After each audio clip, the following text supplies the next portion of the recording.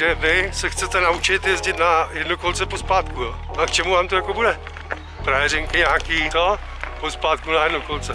tak jo, tak se na to spolu podíváme.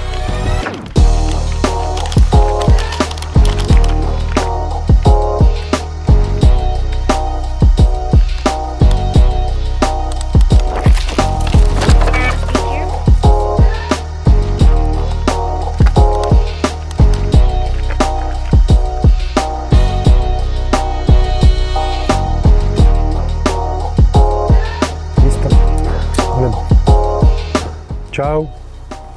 Dlouho jsem nic nenatočil. Dlouho, dlouho. Máma si zlomila nohu v kyčli, čtyři nebo pět měsíců jí rozchodit. Pak mezi tím stěhování, nejrůznější věci a všechno, co nechce člověk.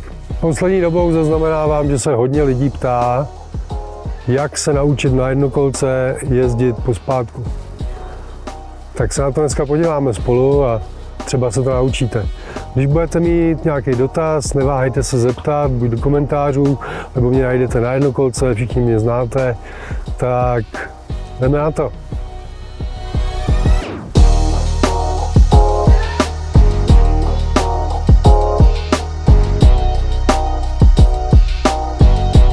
Ukážeme si všechny varianty, no nevím jestli všechny, ale ty, co mě napadají, zhruba tři jak se na jednokolce naučit jezdit a snad to spolu zvládneme. Tak jdeme na věc. Takže cvičení číslo jedna, který absolutně nejvíc pomáhá tomu, jak jet pospátku, je prostě jet pomalu. Takhle se u toho většina lidí plácá. Naučit se v klidu jezdit na jednokolce pomalu, vidíte, že to není úplně jednoduchý, tak eh, vyžaduje samozřejmě naprosto perfektní rovnováhu. A to je přesně to, co potom lidem chybí, když jezdí 5-10 km hodině po městě, někde potřebují přibrzdit a lubo a už si rozbijou tlamu. Protože nemají propracovanou rovnováhu. Jet na jednokolce rychle, to umí v podstatě každý. A jednokolka se tím, že se rozjíždí, tak se postará o ten balans a o tu rovnováhu. Takže každý za to umí vzít.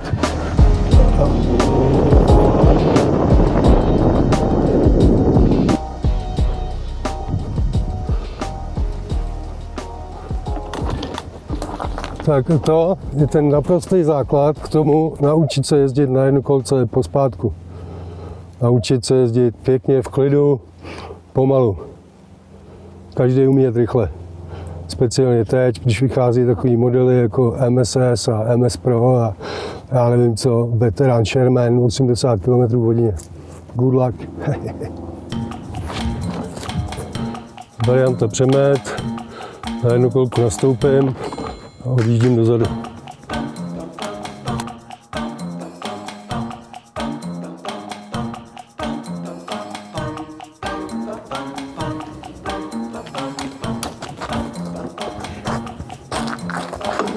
Be careful. Okay.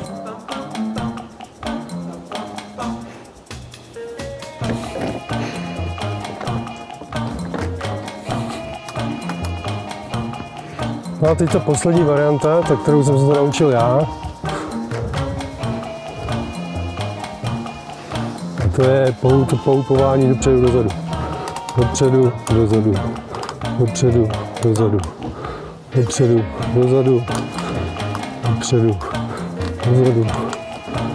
Dopředu, dozadu. No a když už to mám natrénovaný, tak v podstatě z toho No. Z toho posledního zouknutí dozadu já mu a jedu. Ještě jednou.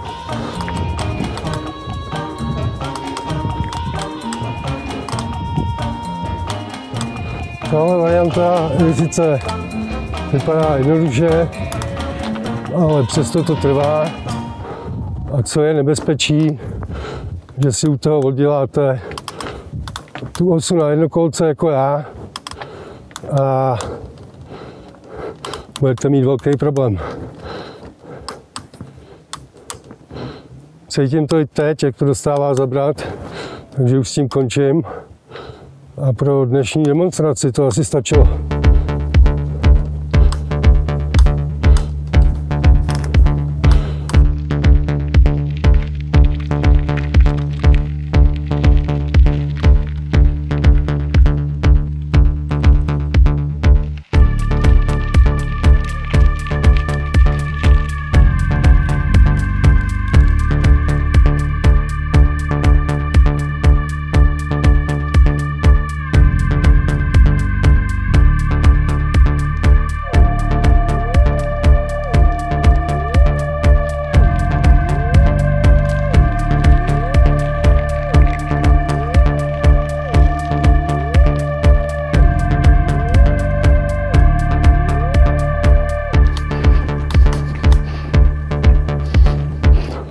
Tady vidíte, že to opravdu není zas tak strašně složitý jezdit na jednokolce pozadu.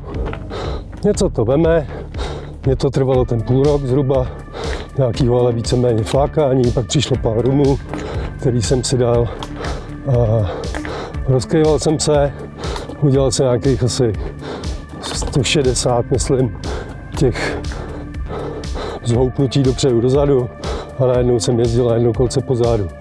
Ještě jsem to musel pilovat, musím to pilovat do dneška, ale jak vidíte, tak se to nějakým způsobem prostě dá.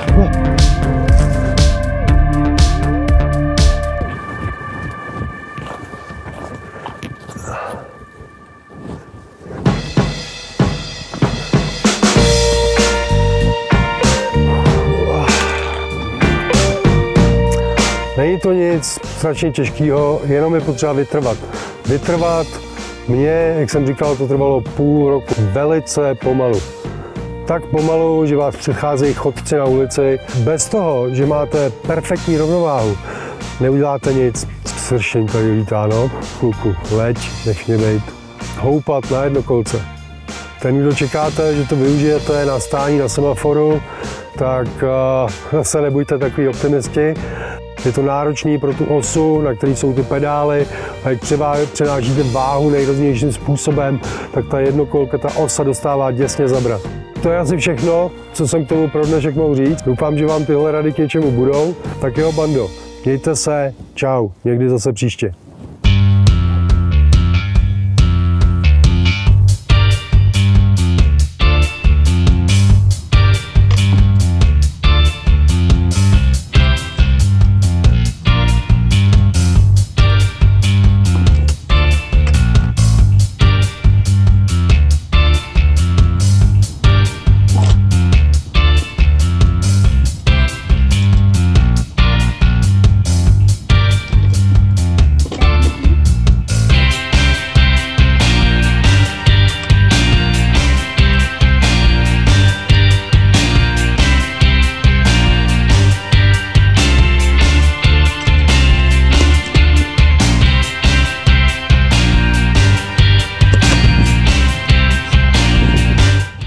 Si říká přemete.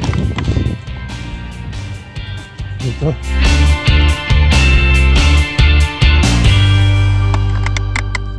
Snad jo.